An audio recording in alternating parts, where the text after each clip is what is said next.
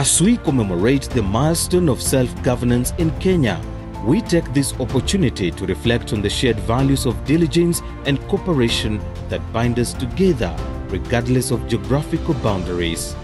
As Transnational Times DT Sacco, we understand the power of collective effort and mutual support in achieving our financial goals.